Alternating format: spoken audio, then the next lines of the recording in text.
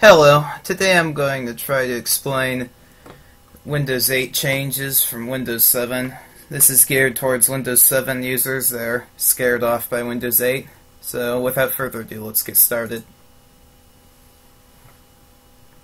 It, it loads fairly quickly, but you can see here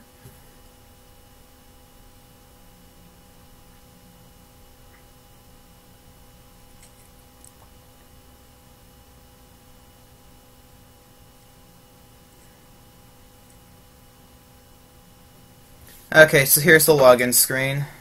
So we just click here and enter in your password.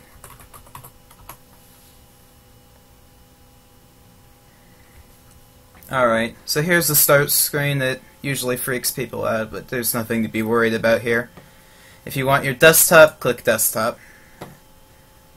And this this start button right here, if you click that, takes you back to the start screen. And that start button was added in Windows 8.1. Before then, that, there was a hot corner in the place of that button. So let's just go into an application. We'll use Photos as an example. So this is a Metro application. Notice that they run full screen.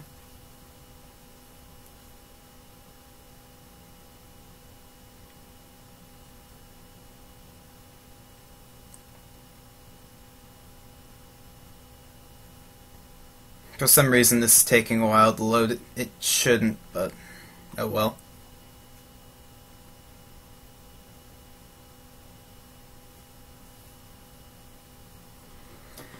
Okay, I'm now going to cover the hot corners concept for switching between applications.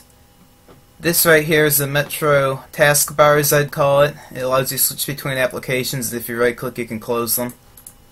Uh, if you just use this hot corner here, it switches between applications. You have to drag down to get this, and you can always get to start from there. You can also, this hot corner right here will show the start button. The other thing over here, this hot corner will show the the settings menu over here. So an example right here, to show off your computer, you can hit the power button to change volume and brightness. You can click here. This is the Metro control panel, as I call it. One thing I want to point out here, uh, Windows 8 is tightly integrated with Microsoft accounts. So right here, you by default, being a Microsoft account, you can switch to a local account here. And that might be useful if you have a long password for your Microsoft account and don't want to type that in while ma maintaining security.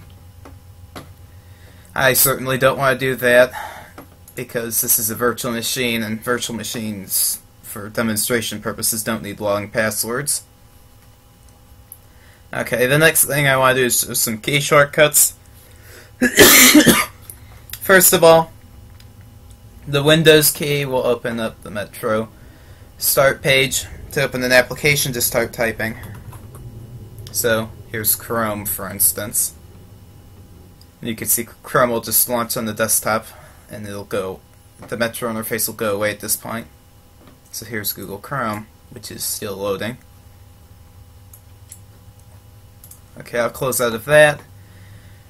Next, shortcut, WinKey W will allow you to search for settings here. So let's think.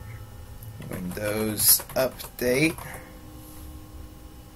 and you can check for updates. Notice this, these ones are from the Metro control panel, and these are desktop control panel items for Windows Update.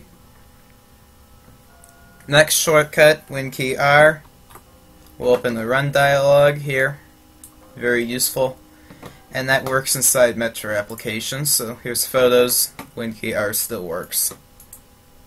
Uh, next shortcut is WinKey X and that will open up a menu for system administrators mainly. Uh, so you can get to the Mobility Center, Power Options, Event Viewer, System, Device Manager, Command Prompt, Task Manager, Control Panel, etc. You can also shut down or restart from here. Uh, next thing is I want to show some changes in Windows Explorer. So you can see right here, first thing to note is that there's a, a new ribbon view here for setting ta selecting tasks. So we'll go to Documents, you can see Home, Share and View tabs on the ribbon. Uh, the File menu has two new interesting functions. You can open a command prompt, and you can just open it as a regular user as an administrator. So here, you can see it opened it in our Documents folder, which is where we are here. Very useful. And the same thing is true with PowerShell. So that is the the major things that I would expect a user to be aware of in Windows 8. Beyond that, it's really just rebranded Windows 7. The Metro interface is the main change. Uh, the, the final thing to note is that there is the Windows Store here, which allows you to add or purchase applications. Depends on if they're free or not. So let's just go to our settings so we can shut down this operating system.